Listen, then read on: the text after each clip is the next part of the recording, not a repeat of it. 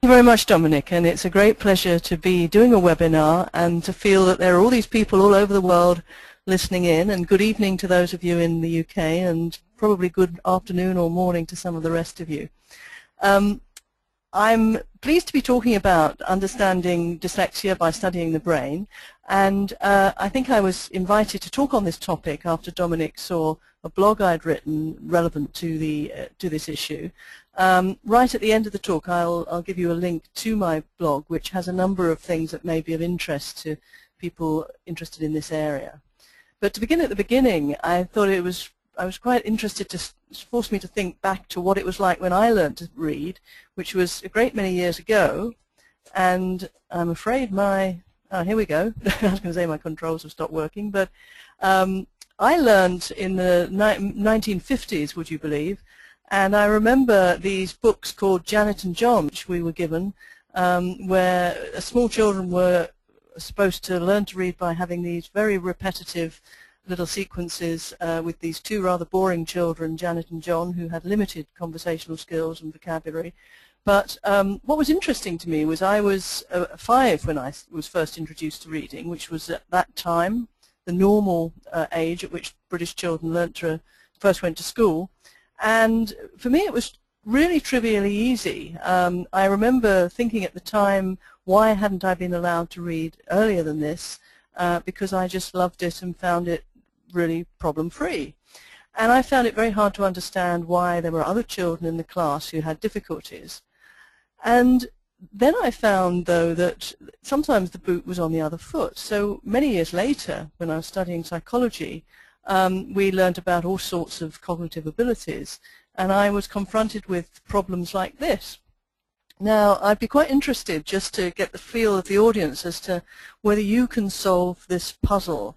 And uh, the idea is which of these four shapes, if you folded them up and uh, instead of flat things you turn them into cubes, would be equivalent to this cube at the top. So I'll hand over to Dominic who will allow you to place your answer. Okay, so here, uh, unfortunately, we cannot show the images on the poll, but uh, perhaps you can remember and choose between A, B, C, and D. Uh, so we see. We see, it harder. We see, so this will make it harder as a task. Uh, we, uh, but we see, we see the responses are coming in. About 47% of people have uh, sent in a response and rising, and it's it's it's a bit neck and neck with one of the letters uh, being ahead, and I will share the results in a minute, just as soon as uh, most people have uh, made their choice. So is it a uh, a few people just did not uh, have a chance to perhaps look closely enough. Yeah. So I'm just going to close the voting now and share the results, which are A got 44%, B 17%, C 22%, and D 17%. So the A seems to be uh, the most popular yes. option. Well, I, I, suspect that A is correct, but as I explained to you, I, I really find this uh, hopelessly impossible. Uh, my brain feels as if it's melting when I'm confronted with problems like this. And this realization that different people have different types of skills really, um, I think, is quite important and made me fascinated to study the reasons for differences, which of course have to at some point be in the brain. It's the brain that does these sorts of puzzles. It's the brain that learns to read. And um, so my whole research career really has been focused on trying to understand more about why some people find some things much easier than others. And I'm very conscious of the fact that because I've grown up in a society where reading is really important and valued, I've had the huge advantage. Whereas if I'd grown up in a society where there was no literacy and you had to forage and be a hunter-gatherer uh, when visual-spatial skills might be rather more important, I would have been at a decided disadvantage. So there's a sort of sense of slight arbitrariness about one's benefits and uh, how lucky you are to have gone into the world with the right sort of skills. Um, but what's going on in the brain in dyslexia? Um, when I started out researching in this area, um, the popular idea was to think about there being possibly some kind of uh, brain damage occurring around the time of birth in children who had all sorts of specific learning difficulties.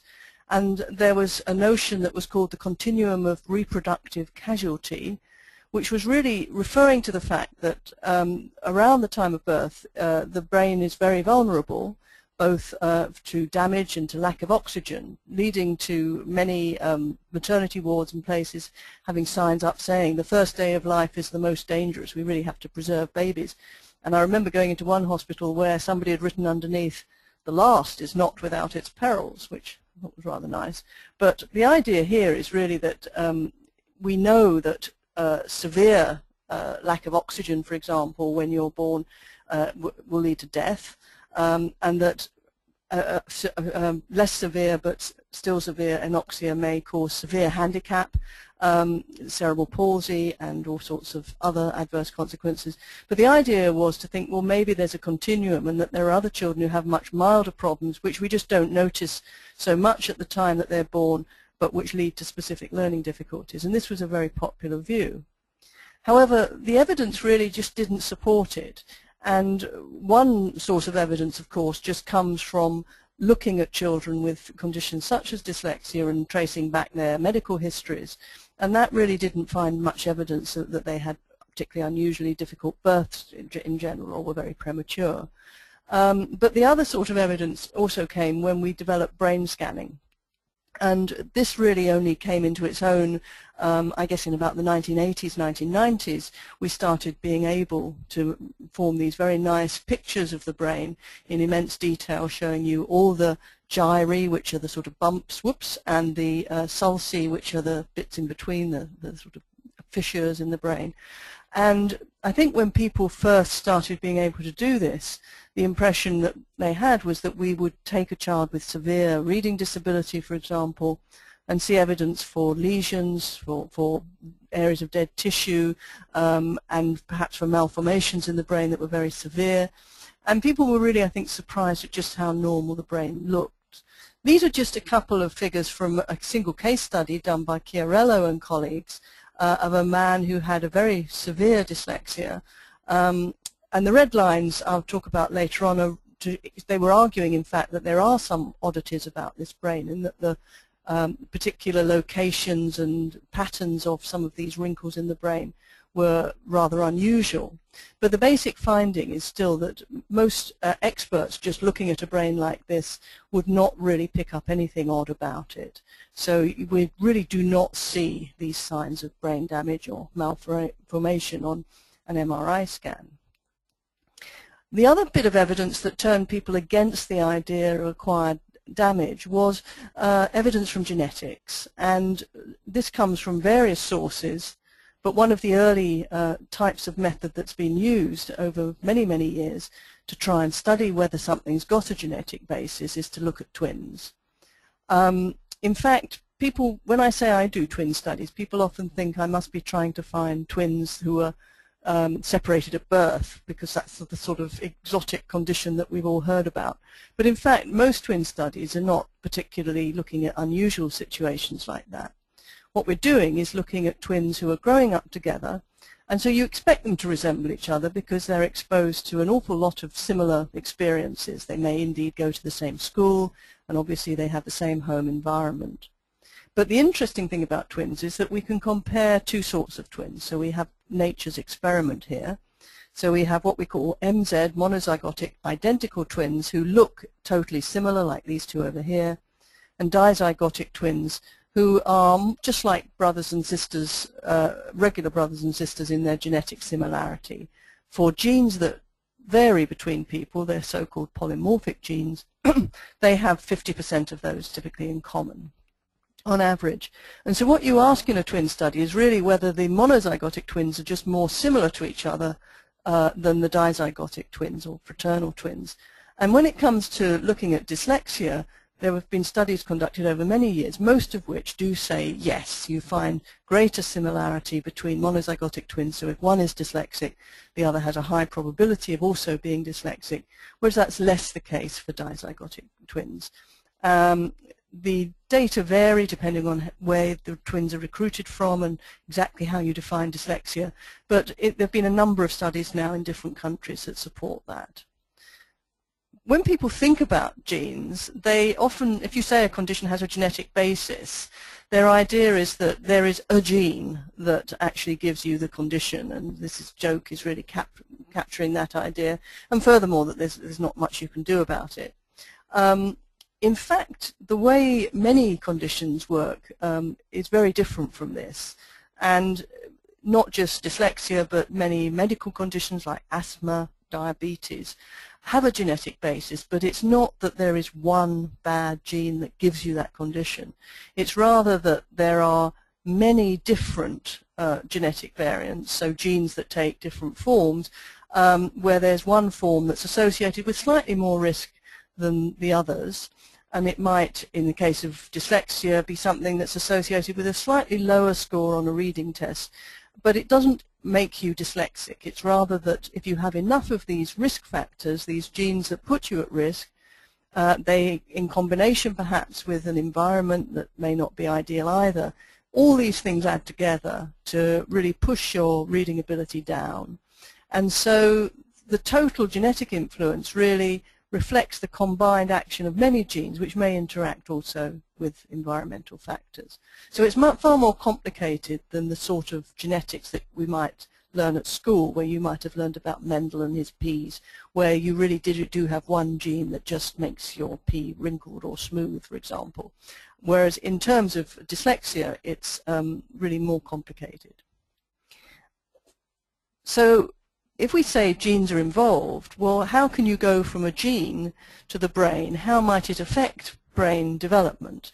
And we know a lot more about this now than we used to, uh, and it's a very live area of research. This is showing you a, a, little slide that I found on this very nice website that uh, is created by some people in um, Belgium who work on mouse models of, of brain development.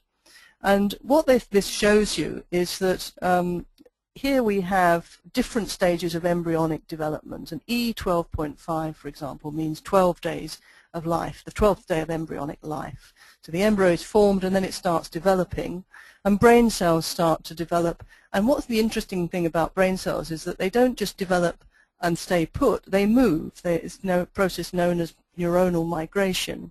And they move quite large distances from where they start life. They um, go up these fibers, which are known as glial fibers in the brain, and move to a final position. So these green cells shown here have moved from down here, migrated up here through this layer, and then they settle down in a nice orderly layer. So your cortex, your brain, is being built up in layers and this is the, a day later, you've got a whole load more who've migrated even further out. So the brain is building up in these layers, and different types of cells are in different layers. Now what you can show is that you can have um, a kind of mouse that has a genetic defect where this process goes wrong. And this is known, this poor old mouse is called the reeler mouse because it has a lot of motor problems. It, it's very poor at um, controlling its movements and has tremor and so on.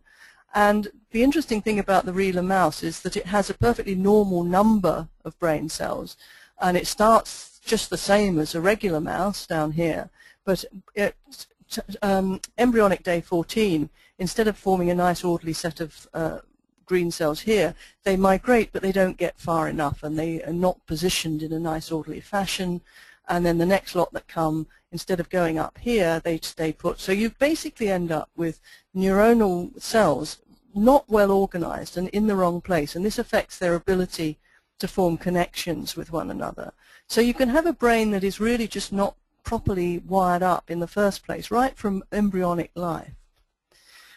Why is this relevant for dyslexia? Well, it has been argued that what you see in dyslexia, or in some dyslexic brains, are problems that are like a much milder form of what you see in the reeler mouse.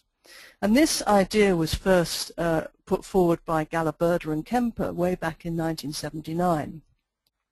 They were actually studying post-mortem brains um, from the Orton Brain Bank. And this was a brain bank which people with dyslexia signed up to that should they die, their brain would be made available for science.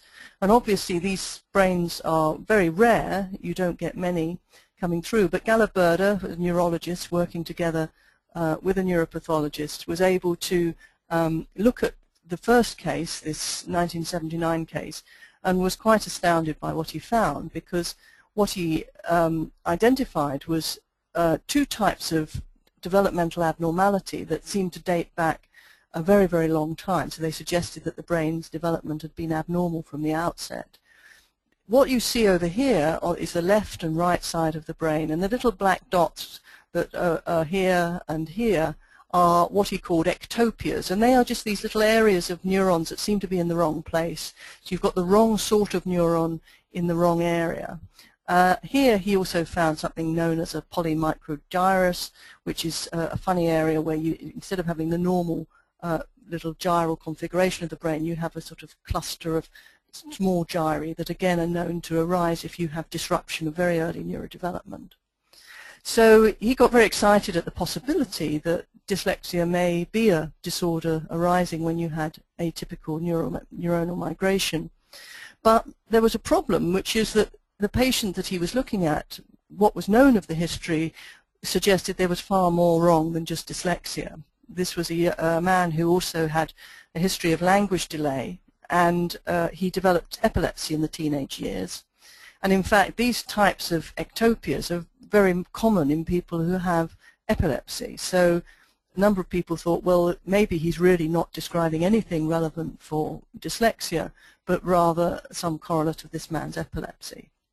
But he then found some further cases, again, all post-mortem cases recruited from this brain bank, and they all were not exactly the same. They didn't have the, exactly the same pattern or location of these ectopias, but they did have evidence of ectopias, um, and particularly on the left side of the brain, which was interesting because we know the left side of the brain is particularly important for language functions.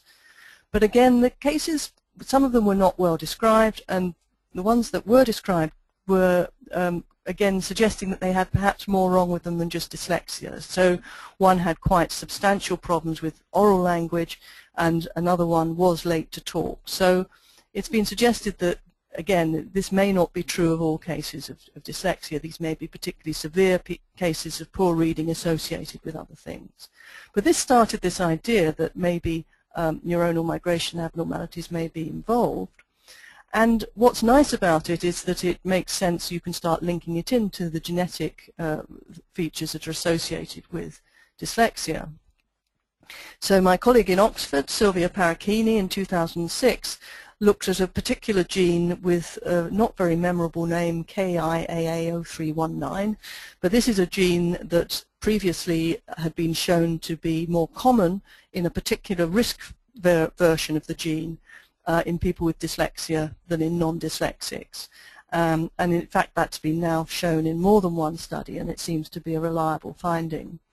And so what Silvia was interested in doing was looking at what the gene did and she was able to look at gene expression in fetal brain, both in rat and human fetal brain, and found that this is a gene that is expressed in, in fetal brain, uh, but the risk version of the gene, the one that's associated with dyslexia, had lower expression what was even more interesting was she was able to do a very clever experiment where you interfere with the gene, uh, and so this is in the rat, um, and was able to show that then you got less neuronal migration, and that's what this graph over here is showing you. Uh, this is the distance that neurons migrate, um, and you can see this blue bar is much lower than all these other bars, and what the blue bar is is uh, the rat where this KIA gene has been interfered with so it doesn't function properly. These are a couple of control conditions where you do other manipulations, and these are a couple of other genes that are interfered with which didn't have the same effect. So the argument is that this gene, this is evidence that this gene is involved in neuronal migration. Subsequently, Galaburda, who was the original person describing these ectopias, has been doing further research, again with rodents, um, really looking at the impact of some of the other genes that have been uh, associated with dyslexia and found that they all seem to be involved at some stage in this neuronal migration process and that if you interfere with them you get these kinds of anomalies. So this looks like a very exciting line of work that might make some sense and allow us to go all the way from genes to uh, the development of the brain to try and explain dyslexia. But I would say we still have to be very cautious. This is all very early days. And we have to be cautious for several reasons. And the first point that I must stress very carefully is that these dyslexia risk genes are not mutations. That is, they are not rare cases where a normal gene has suddenly got changed in the course of transmission. They are um, risk um, variants of normal genes that are really quite common in the general population. And it follows then that they're not going to have massive effects and cause major malformations in the brain. If they did, we'd have a high percentage of the population with such malformations. So they must be having quite subtle effects. Also, the association that they have with dyslexia, as I mentioned before, the effects are really quite mild of any of these risk genes. If you look at the mean um, reading score of somebody with the risk version, it's just a few points lower on a reading test than somebody who's got the non-risk version. Um, and the frequency of the of the risk version is not that if you've got dyslexia you've got it and if you haven't you haven't on the contrary so there's a version of this gene that you see in 39% of normal readers but only 25% of dyslexics and there's another version that goes the other way around 30% of normal readers 35% dyslexics but as you can see there's plenty of people with this risk version who are normal readers and there's plenty of dyslexics who don't have the risk version so these associations are quite slight, and you have to be very careful at realizing that when people start trying to sort of talk about genes for dyslexia. We haven't got genes that give you dyslexia. We have things that slightly increase your probability. The other point to bear in mind about this uh, whole field of research is that the original Galaburda reports of these ectopias was based on originally just four cases, a few more were added, but the studies were not terribly well controlled in that um, the brains, they got a brain from the brain bank and of course they knew that it was a dyslexic brain when they analyzed it. Ideally what you'd want is a study where you would be comparing a dyslexic brain with a control brain without knowing which was which because you do certainly occasionally see ectopias in brains of people who have no problems at all. Um, the argument is you typically don't see them to such an extent. But these are all things that ideally should be analyzed uh, as, as blind as possible. Um, the other thing that's slightly interesting is that now we have MRI scans, we can actually look at the brain without having to wait until post-mortem.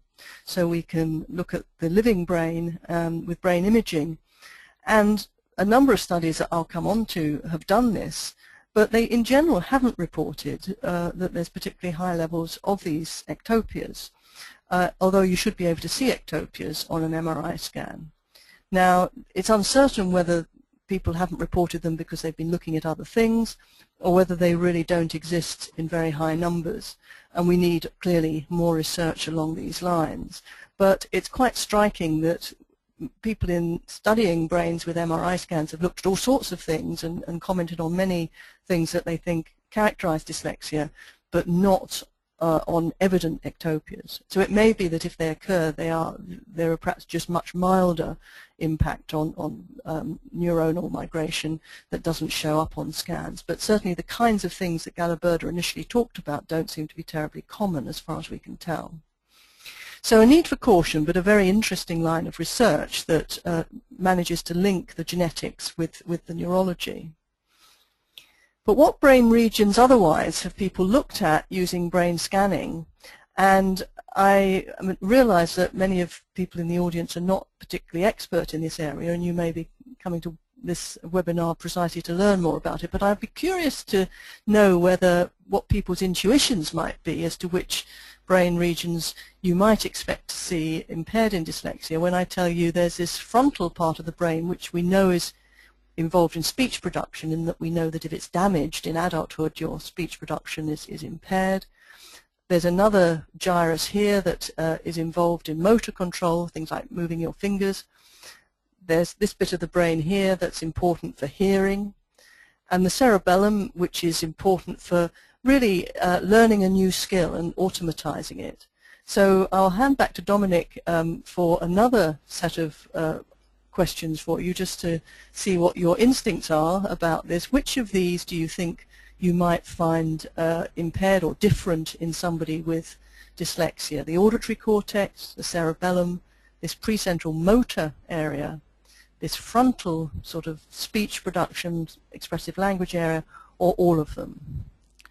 Okay, so I have started the poll and uh, I'm seeing the responses coming in. So let me just summarize them again. It's the auditory cortex A, B cerebellum, C precentral gyrus, uh, D inferior frontal gyrus, and E all of uh, the above. So the responses are coming in. So let me just uh, give you a few more moments to make your choice which one you think. There is a clear uh, front runner here. So I think I will just, uh, even though if you had, if you have not made your choice, it doesn't matter. This is just to give us a sense of where people are. So I sh- will share the results. The results are A, the auditory cortex has 11%, cerebellum 16%, precentral gyrus only 2%, inferior frontal gyrus only 7%, and all of the above a clear winner with 3%. uh, this is a very intelligent audience because no. it is indeed all of the above and more. So I realized that this would be a very boring talk if I just took you on a tour of the brain and said there's this bit and that bit and they're all associated. But I thought it wanted to give you the flavor of what people have looked at and what they've found. And I just went to a recent um, edition of the Web of Science, which is a, a, place where you can look up papers by topic, recently published papers, and went through the first few I could find that looked at MRI scans to look at structural um, differences between dyslexic and regular brains. And these are all the different things that really were coming up just with the first few papers I looked at. So people have looked at the corpus callosum, that's the fiber tract that links the two sides of the brain. The depth of the gyri in the white matter, so how deep these um, uh, gyruses are, these, these lumps and bumps on the brain. The right cerebellum has cropped up. The amount of grey matter is thought to be reduced in dyslexia in some studies.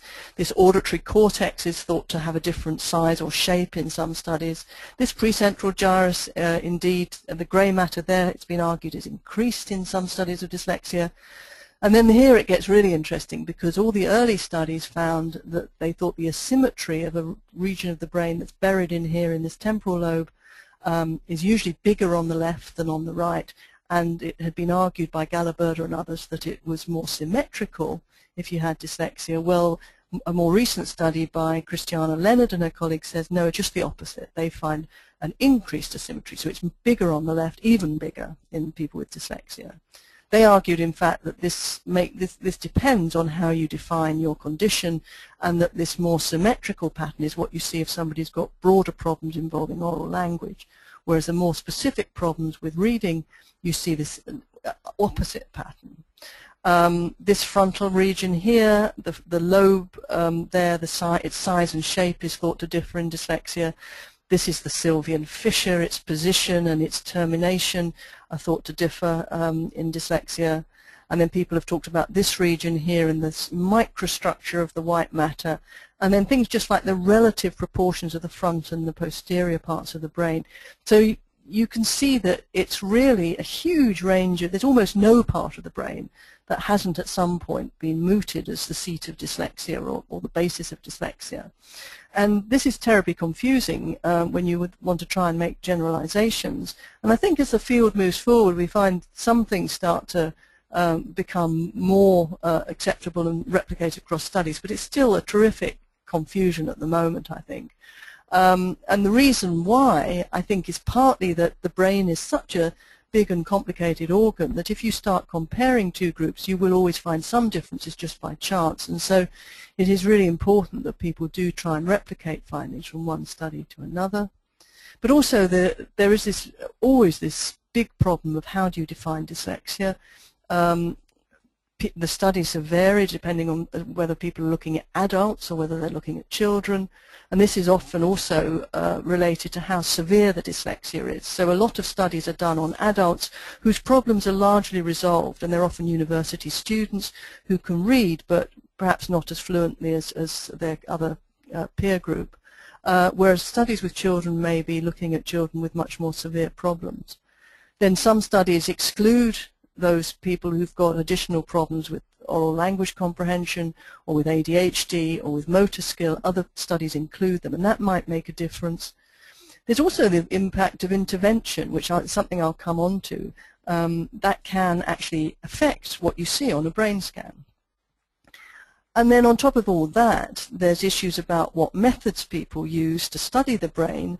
Um, Eckert and colleagues uh, did a very nice analysis of the same brains depending on whether they analyzed them by having somebody patiently looking at the picture of the brain and then tracing around the outline of a particular region and measuring its size and so on, um, versus doing an automated analysis where you just put it in the computer and try and count the amount of cells with grey matter in and so on. And you don't necessarily get the same result because these methods make different assumptions. The automated methods try and fit all brains to a standard size template, for example, and that will affect what you get.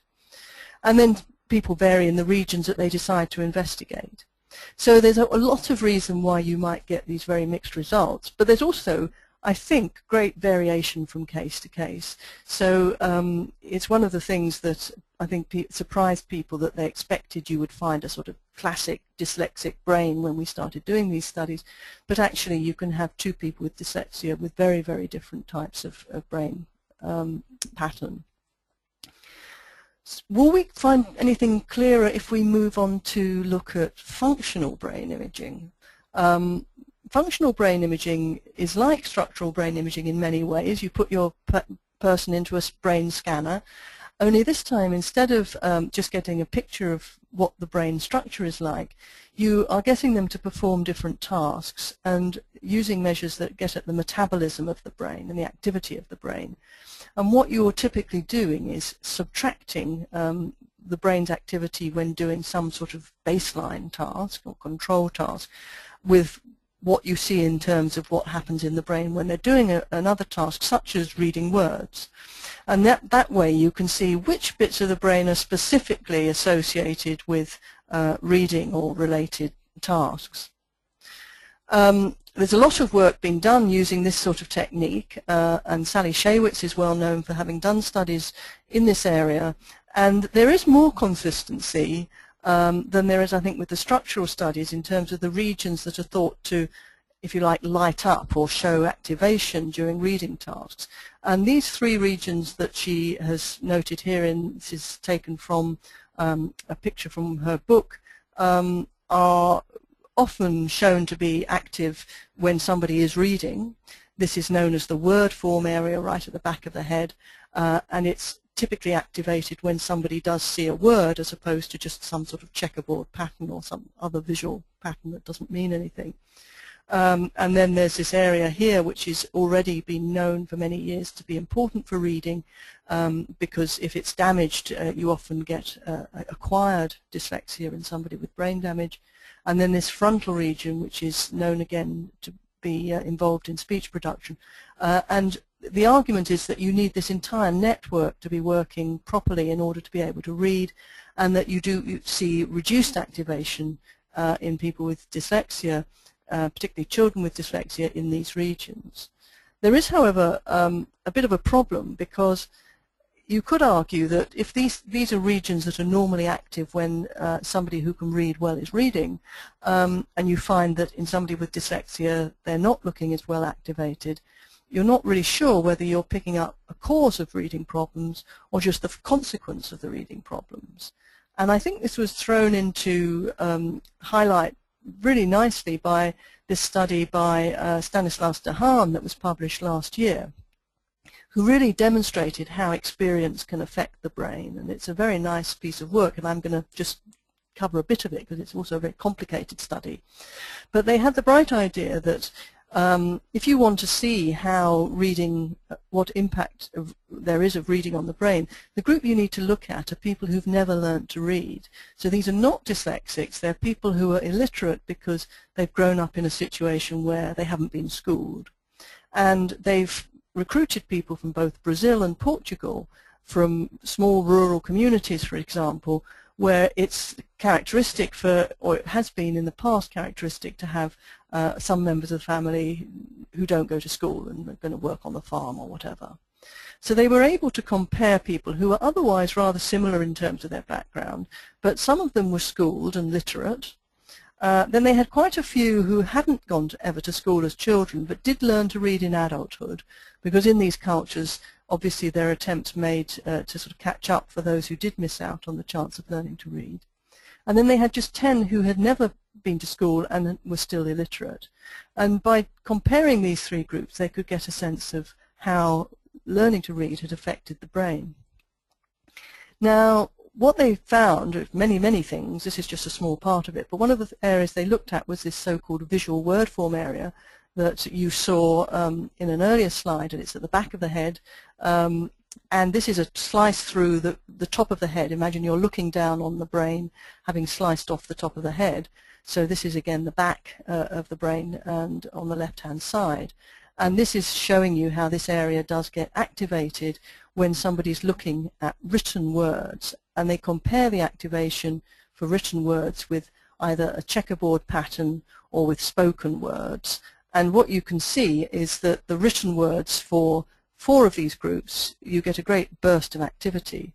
But the interesting thing is these are the literate people. Either B is for Brazilian and P is for Portuguese, and not can't remember the one and the two. But basically, you've got more activity for people who are literate, and the ones who learnt to read in later in uh, life, in adulthood, uh, one group is up there, but this other one, who are not so good at reading, they learnt but are not so competent are down here. And the illiterate people who never learnt to read are just not responding to words in the same way. Their brain is, is having very little, no more activity than it would to non-words checkerboard pattern. So this is perhaps not surprising because the words obviously have enormously different significance for somebody who can read than for somebody who can't read. Um, but it's a nice demonstration of how we have to be very careful in interpreting what we see in the brain because it um, actually uh, is affected. It's not your brain doesn't just do reflect how you were born, what's the nature of your brain when you were born, but also what's happened to you since and what experiences you've had, and that's an important message.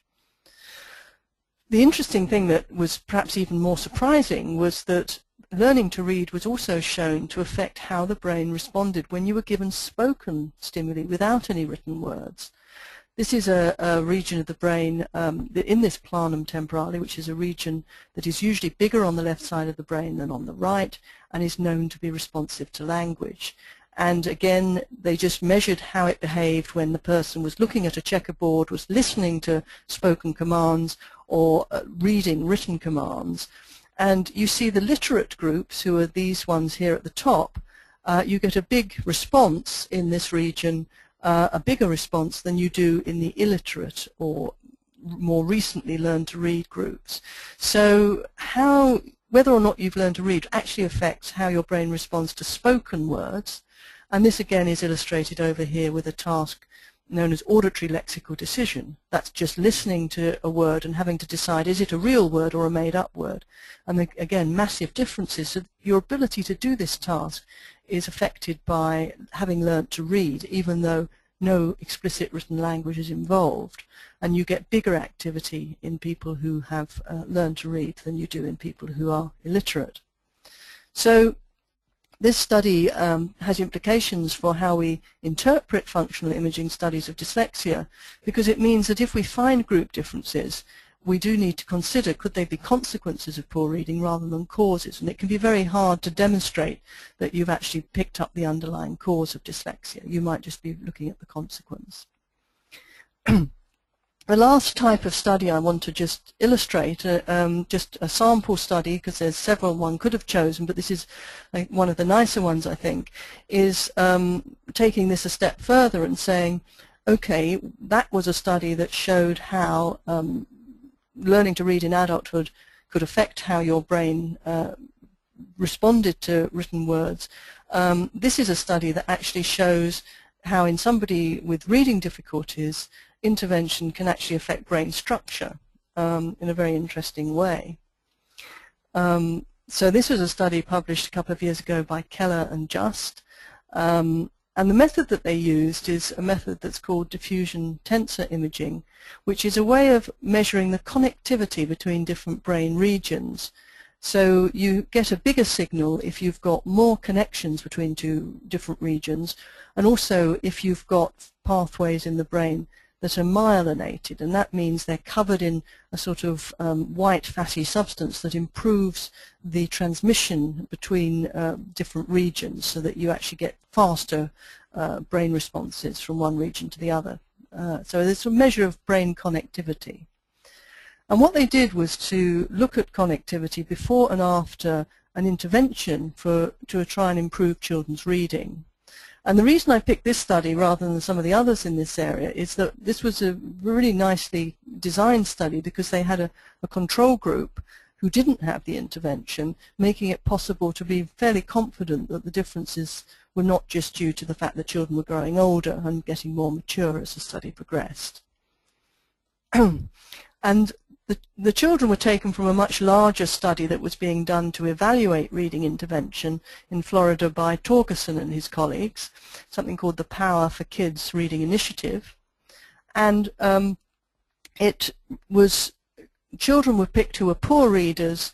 Uh, I would say they probably, many of them would not really be thought to be dyslexic, although it will depend how you define dyslexia. At the bottom of the slide I'm saying, showing you the criteria they had for poor readers. They had to score in the bottom 30% of the population on a test of word reading efficiency, but not have major vocabulary problems. They had to be in the top 95% on um, this Peabody picture vocabulary test. But they would be children who would be sort of slowish readers, but not necessarily having any really striking problem with reading or massive mismatch with uh, other abilities. Um, these poor readers were assigned to either carry on as before with their classroom, regular classroom instruction, that was 12 of them, or to have one of four interventions.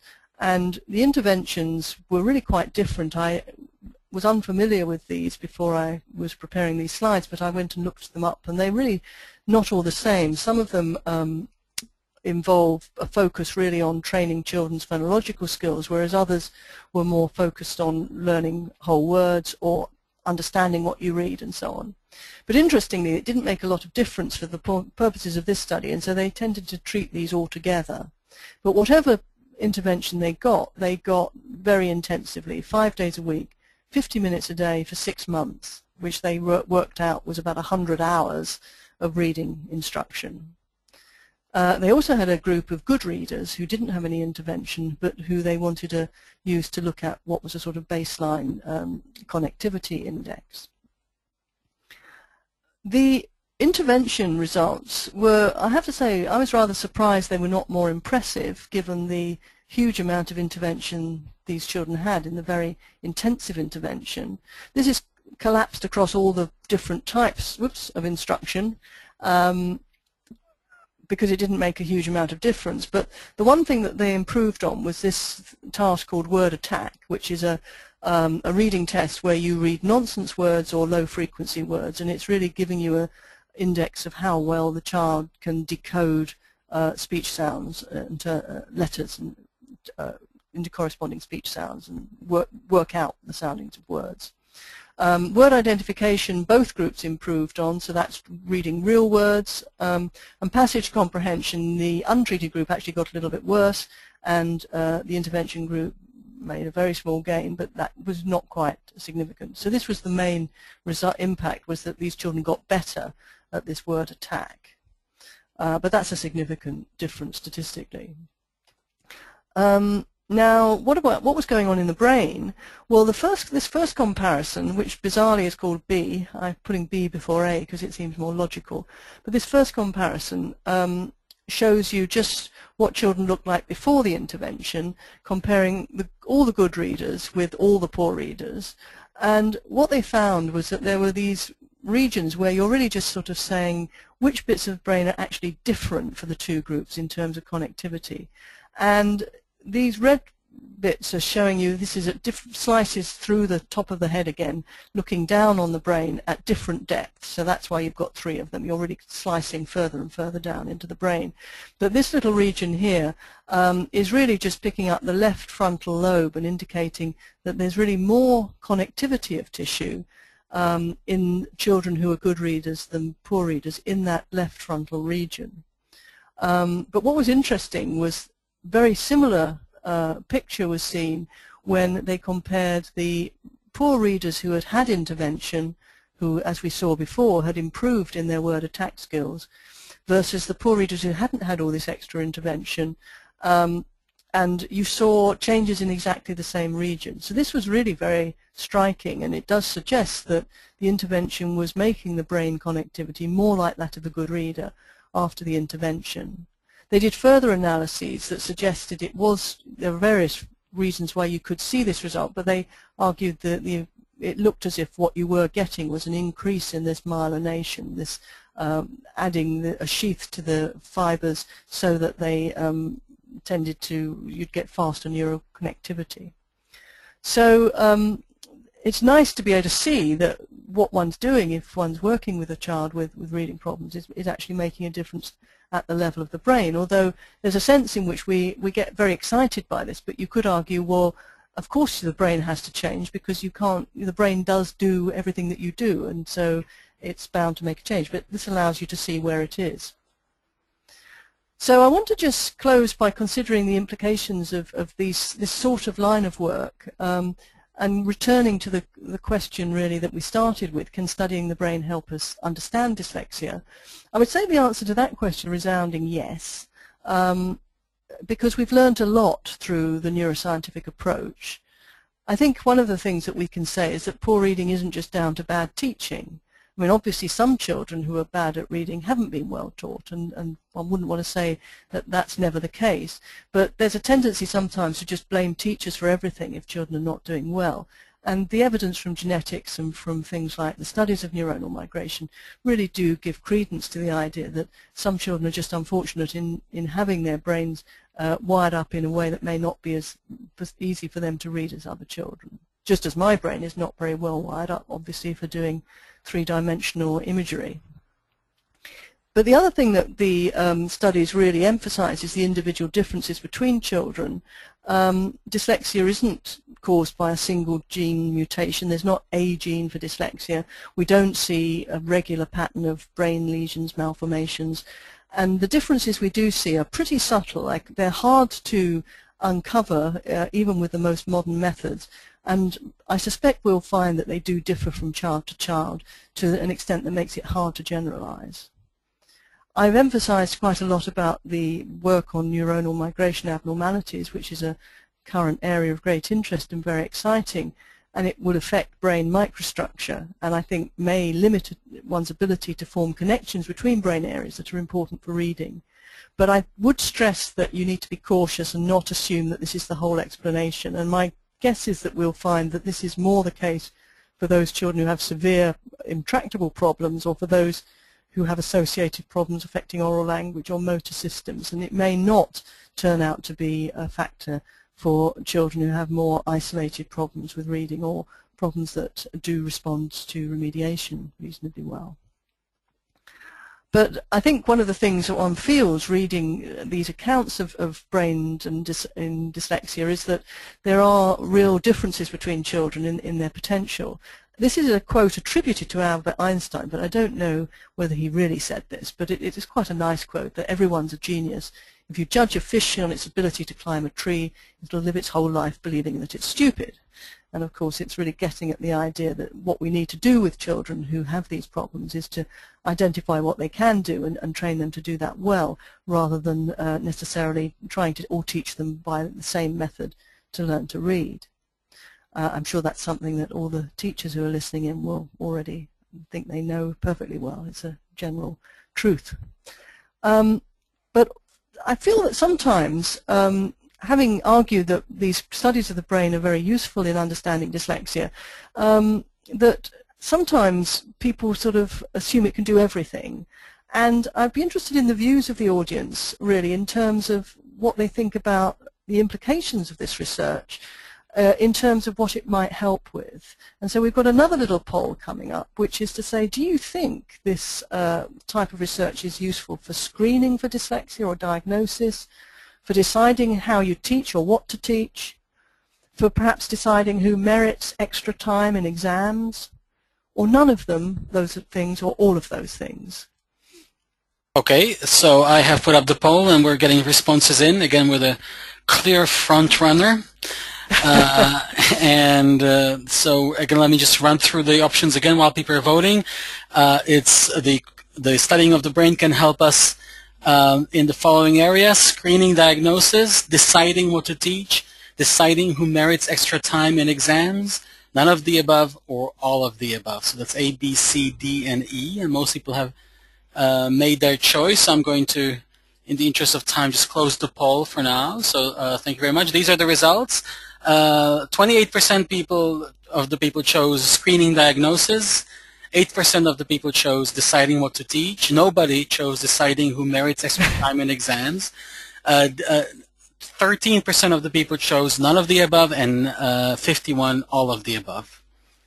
Oh, right. Well, that's really interesting because I'm much more pessimistic than the audience in that case because um, my answer, I think, would probably be none of the above, um, or possibly, you know, help with is, is perhaps a, a, reasonable word to use for some of these things. But um, I feel it's often overhyped, and um, I'm rather more sympathetic to this comment by um, Hirsh, Pasek, and Bruer, who talked about something called the brain education barrier. They went to a conference in Chile on early education and human brain development and said on day one it became clear that myths about brain-based pedagogy dominated participants' thinking. The Chilean educators were looking to brain science for insights about which type of preschool would be most effective, whether children are safe in childcare, how best to teach reading, and the brain research presented at the conference was mute on these issues.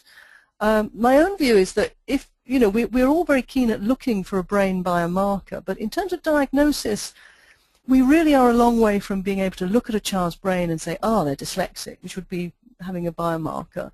And what I'm struck by is the huge differences from one child to the next. So I'm not confident that we'll ever get to that point. On screening, people often say, well, if we had a good brain imaging uh, study that would allow us to pick out the children who might become dyslexia, we could use it to screen. But that's really not very realistic because are we really going to put lots of children into a brain scanner, which is a massively uh, complicated and expensive procedure, when I think we actually, if we want to predict who's going to have reading problems, we can do that pretty well from behavioral measures. Things like whether children actually know the names of letters are already uh, very good at predicting which children um, at the age of four might go on to have reading problems. Um, and again, I think it's just the level of accuracy is not good enough with our brain measures. Can neuroscience inform teaching? I would say not really. It can show that learning to read changes the brain, can confirm that reading involves a complicated brain network, different parts of the network are problematic for different children. But I still think we shouldn't be overwhelmed by these wonderful pictures of brains with bits lighting up because at the end of the day the cognitive analysis, the analysis of the reading process I think will be the best guide for diagnosing what a child needs. I think we should have neuroscientists and educators talking together because the neuroscientists do get ideas about how the brain circuits involved for reading operate and how different types of skill are integrated in the reading process. And there's plenty of scope for talking creatively with educators and trying to sort of get new ideas about approaches. But I would, I, my concluding comment would be that really the careful analysis of children's reading behavior and underlying skills should be what guides intervention not neurological tests, and that we shouldn't get too carried away by the pretty pictures of brains. So I love the brain research. I think it's fascinating and interesting and tells us a lot, but I think we shouldn't be so overwhelmed by it as to think it's superior to the sorts of behavioral studies that we often want need to do. And that's the end, all I have to say. I'm sorry I've gone a little over time, um, but I'd be happy to take a few questions. I wanted to follow with a picture of the public library in Seven Kings where I grew up, without which I think I wouldn't be nearly such a good reader and not be where I am today. And I've also put up a couple of um, reference slots there. Um, there's a list of references for the talk here, and the blog um, that I mentioned at the outset uh, has a number of pieces in it that might be of interest. But thank you very much for listening. Well, thank you so much. Uh, this was this was a, a, wonderful lecture. I can personally recommend the blog. I, I read it regularly, so I definitely definitely recommend it for uh, for great insights in, into in many areas of research in in this area. Uh, and uh, I just wanted to remind people we already have a few questions in, but I wanted to remind people that if they want to ask a question, uh, you can do it via the control panel and expand. If you have collapsed it by the orange button with the white arrow, you can you need to expand it again, clicking on the orange button, and uh, uh, and then you type your question in right above the send button, and uh, and that will uh, and uh, that will send the question into us. Perhaps if I could be allowed the first question uh, regarding your last slide. there mm -hmm. was mm-hmm. a there was a recent report by the by the Royal Society uh, on uh, neuroscience, and the second mm. part of the report was nervous implications for education and lifelong learning. And I read the yes. report, and and I have also talked to a number of people, including some uh, leading policymakers in this area, and it seems to me it can, that report can be read in two ways. One, a very optimistic way, which I think many policymakers are taking it, uh, which is that actually neuroscience can do all of the above on, on your question there, there, as opposed to as opposed to the sort of more sober reading, which is what you're offering, uh, which is that that actually we need to be quite cautious about uh, expecting neuro neuroscience to do too much uh, sort of for the frontline uh, workers in, in, in teaching and interven in literacy interventions. So do, do you have a, a, comment on how we can sort of reconcile these different readings? Yes, I mean, I, I, think perhaps one of the things I should emphasize is I'm, I'm cautious about everything. I think I'm probably unduly cautious and pessimistic, and it's, it's part of the, the way I operate. Um, but I, I think uh, what that Royal Society report, which I, I, I was involved in, and I, was almost the sort of Cassandra on the panel who was, was continually sort of saying no, no. Um, but, but there were people there who were much more upbeat about the prospects. And I think a lot will depend on, on how the field develops in, in, in future years. Um, but I think what we did all agree on was that there should be more communication uh, between neuroscientists and, and, people in education.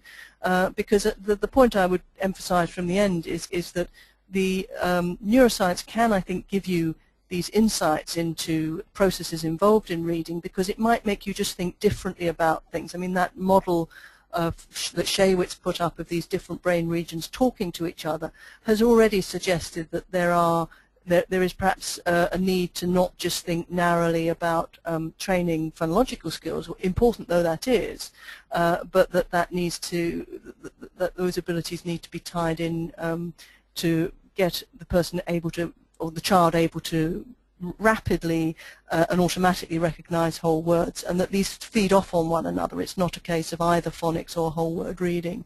So I think you can get insights um, from the brain models, but that also, I think what I dislike is the idea that somehow people treat it as a sort of, uh, you know, the neuroscientists being able to pass down their valuable knowledge to the teachers who don't know anything, whereas on the contrary, I think the field would benefit if there was more two-way interaction.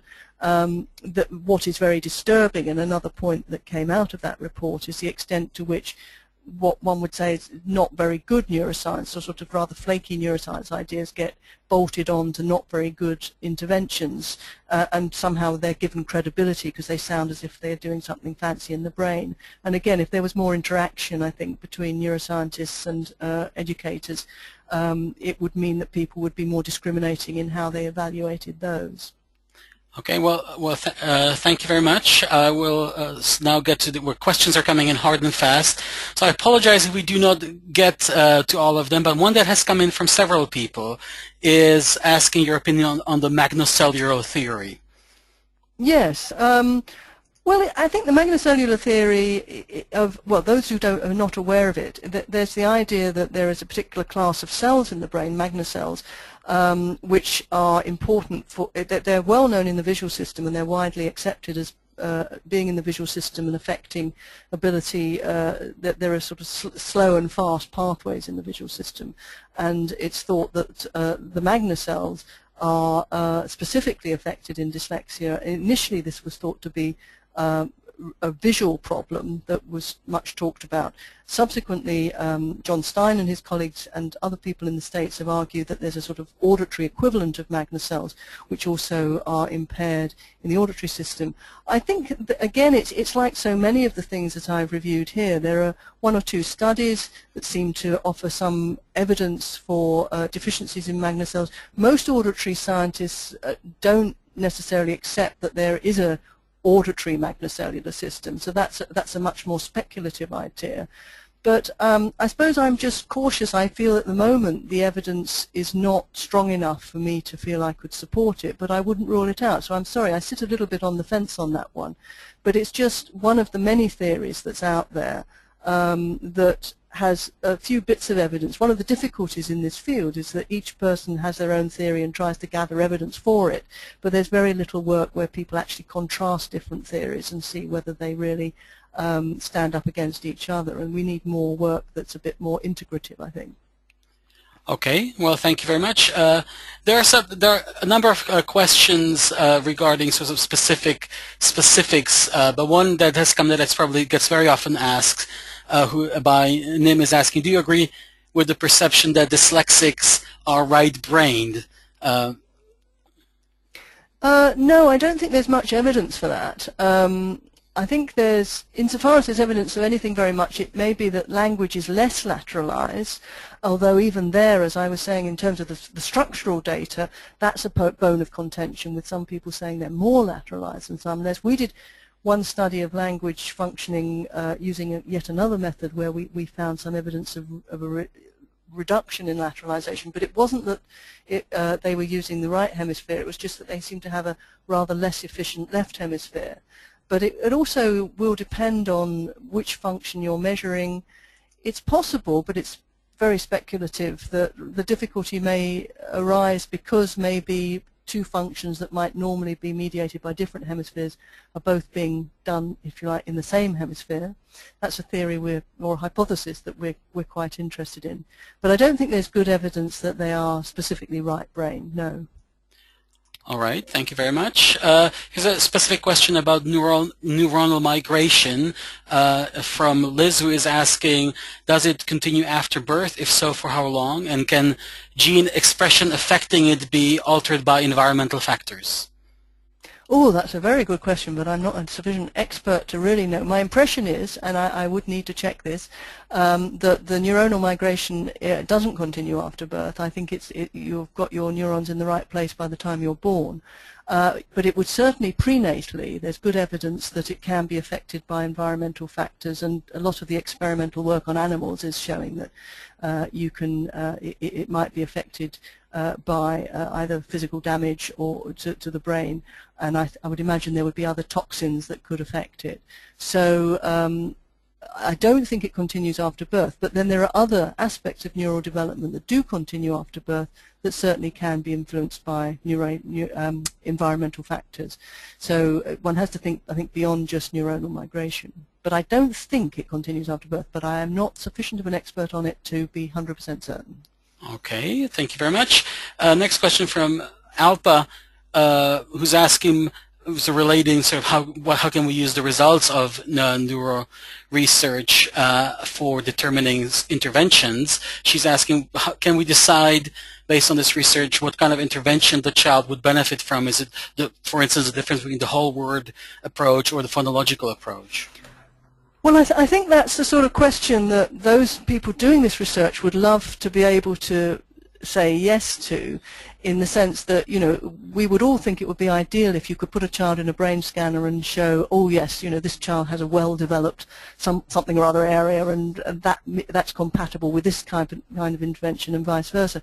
And you occasionally get neuroscientists who, who try and argue along those lines, but my I, am very, very skeptical. I think that, as I said at the end, it, you're more likely to be able to um, identify most appropriate interventions by uh, doing the sort of assess, say a dynamic assessment, try try and teach them by different methods and see which one they respond to best and so on. So it's really coming back to the point I made at the end that I'm perhaps rather skeptical that you know the, the neuronal data are going to be superior to essentially good old-fashioned behavioral data for answering those sorts of questions. Okay, thank you very much. And here we are kind of a related, again, so relating question, related question that kind of pushes the, the boundaries of what the research can uh, can uh, show.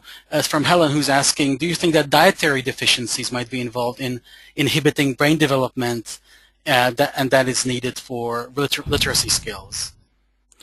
I think that that can happen. Um, I mean, we know that children who suffer from malnutrition um, or who have major problems with metabolizing fatty acids and so on, that you can have effects on the developing brain. But in general, that does not seem to be um, a factor in dyslexia where these genetic factors do seem to be much stronger. And there's really, um, I don't think any not any evidence I've ever come across that shows that the maternal diet during pregnancy is, is a major risk factor for having dyslexia.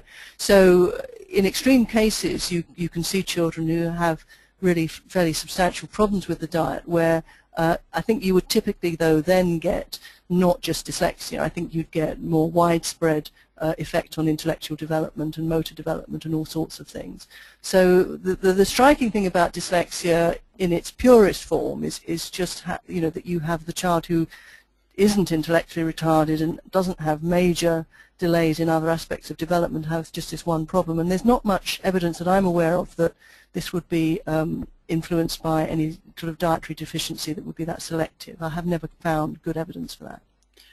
Thank you very much. And uh, Jared, Jared is asking on the difference between si in, in, sizes between lobes and connectivity between lobes, which is supposed to be important. Uh, could you comment on that? Sorry, I missed the first bit of the question. Basically, the question is, can you comment on the differences in size between lobes and the connectivity oh, yes. between lobes? Um, well, brain size will just largely reflect the, the number of neurons that you've got. Uh, and connectivity uh, is what people are getting really, really interested in because they're finding that you may have two children who both have what looks like the same size brain and, and you wouldn't really pick up any differences on measures of size. But these, this method that I mentioned towards the end of DTI, this um, diffusion tensor imaging, uh, picks up the connectivity and shows that that may be I think people are getting very excited that that's probably the more important thing, and that does continue to develop throughout childhood. Uh, and so the, the general view is that that may very well be a more sensitive measure of development uh, than simply how big or the relative size of, of different bits of brain. Okay, uh, we're running over time quite a bit, but uh, if we could just have uh, time for maybe one or two more questions uh, okay. from the, I was just select from the many that that have come in, uh, uh, and perhaps again following on your on your on your last comments is Lynn is asking if there should be more communication between researchers and practitioners. Could you predict some of the areas of discussion that there should be? Um, well, I think uh, the, the, what would be nice would be for the researchers to perhaps hear more about uh, the individual children and you, that you that the practitioners see, and the ones who, who are really difficult to teach, and the sorts of things that practitioners try and that they may find perhaps unusually does work or doesn't work. But I think there's a tendency amongst researchers, and I count myself in amongst them, that if you get too far away from the phenomenon you're studying and you just sort of get a child in and put them in the brain scanner and take them out again, you, I think you really do need to get a feel for uh, the extent of the difficulties, uh, the variation from child to child, which I think might make us, you know, perhaps less willing to try and come up with these global theories.